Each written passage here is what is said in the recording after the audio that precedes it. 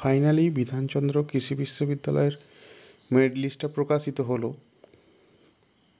গতকাল গভীর রাতে প্রকাশিত হয়েছে। তো আমরা সেই মেরিট লিস্টের যে নোটিফিকেশান সেটা দেখতে পাচ্ছি। তো এখানে বিভিন্ন বিষয়গুলো বলে দেওয়া রয়েছে। প্রফেশনাল যে মেরিট লিস্টটা প্রকাশিত হয়েছে, যে তার কীভাবে টাই ব্রেক ট্রাইগুলো ব্রেক করা হয়েছে। আর এর সাথে কাউন্সিলিং বিষয়টা কবে হবে সেটা এখানে বলে দেওয়া রয়েছে। আমি শুধু সেই বিষয়টুকু বলব। বিভিন্ন টাই ব্রেকিং পদ্ধতিগুলো বলে দেওয়া আছে।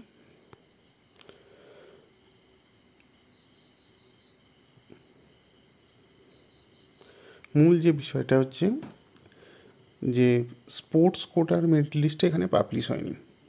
সেটা কিছু সেটা পাবলিশ হবে কিছুদিনের মধ্যে।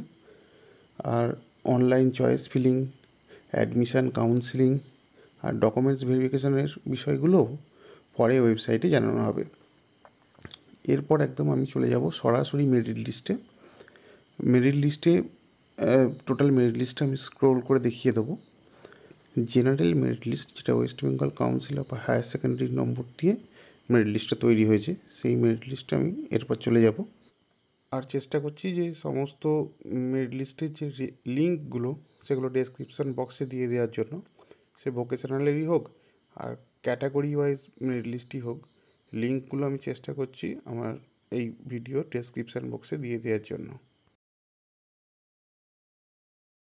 চলে যাব সরাসরি মেরিট লিস্টে এটা হলো সেই মেরিট লিস্ট এটা তোমরা দেখে নাও। আমি স্ক্রোল করে চলে যাব, কোনো কথা না বলে।